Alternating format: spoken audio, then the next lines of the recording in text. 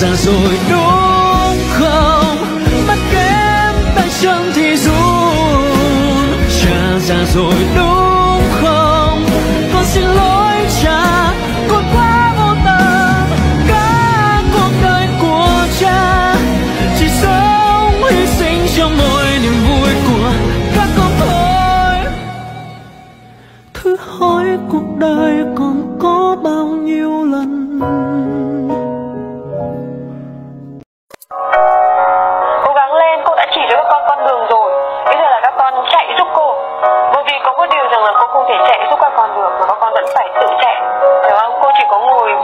lề đường cổ vũ các con các con ơi cùng lên. À, các con ơi chạy đi cố gắng lên. Cái đích ở phía trước rồi đúng không? Chăm chỉ lên cố gắng lên.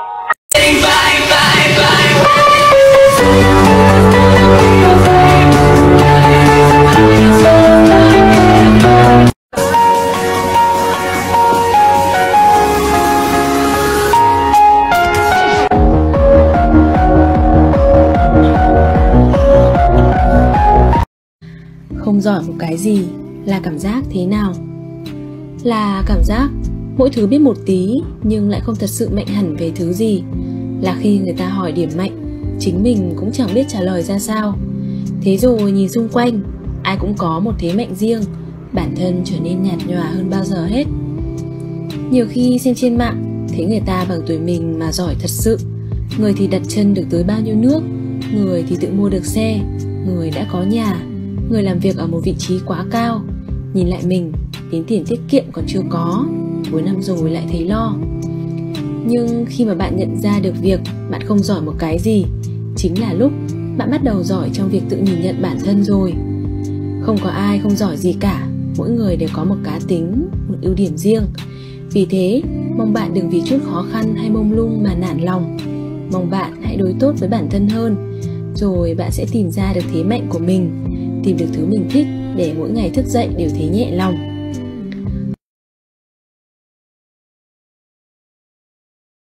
Con gái ơi, càng giỏi thêm một phần thì sau này càng bớt đi một câu cầu xin người khác. Con trai ơi, càng cố gắng thêm một phần, sau này gia đình tương lai của bạn càng êm ấm thêm một chút.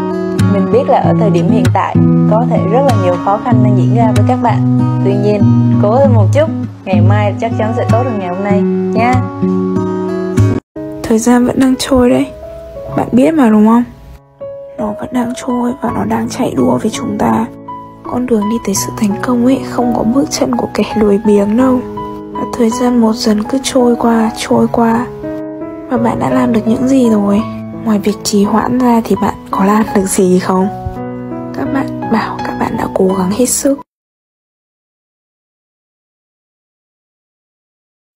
Six things you need to stop doing.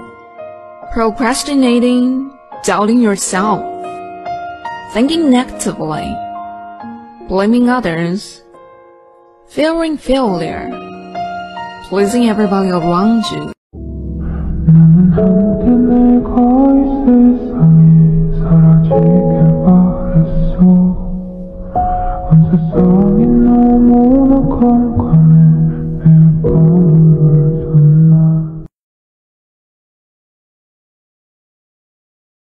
Bạn muốn bứt phá bản thân thì hãy nghe những cái điều này. Một, những thứ dễ dàng như giải trí thì ai cũng làm được, nhưng nó không giúp bạn phát triển. Còn việc học rất chán, khó, thậm chí chẳng mấy ai thích, nhưng nó lại giúp bạn trở thành một viên kim cương sáng giá. Hãy nhớ, có áp lực thì mới có kim cương.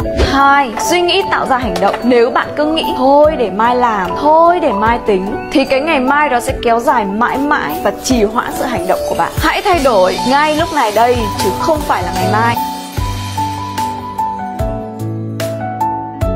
Những người hiểu mình và đã hiểu mình. Còn những người cố ý không hiểu mình thì họ nó có những suy nghĩ lệch lạc đi một chút. Nhưng mà cũng không không trách được người con người khác nhau, tư duy khác nhau. Bản thân chị cũng không biết họ, bởi vì chị và họ khác nhau im lặng giải quyết được rất nhiều vấn đề. Im lặng lắng nghe. Im lặng để phân tích đâu là đúng sai. Im lặng để hành động. Và im lặng để chứng minh.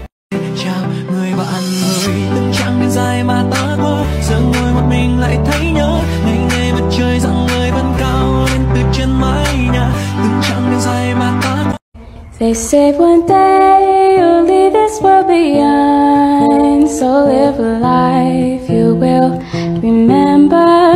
My father told me when I was just a child These are the nights that never die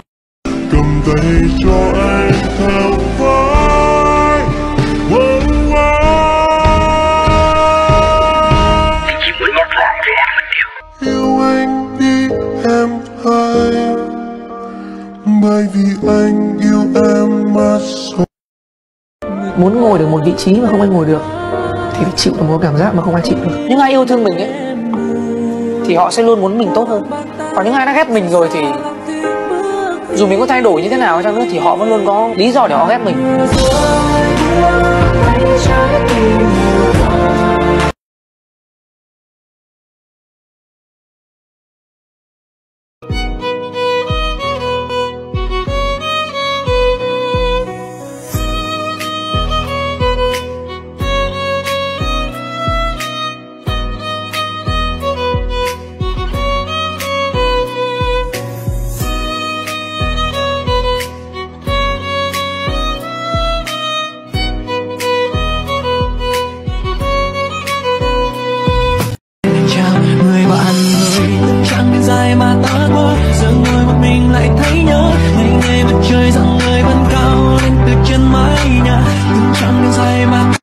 Time to let the, time to let the, time to let the beat drop Baby, I'ma let you know it always gotta be fast. Maybe we can take it slow.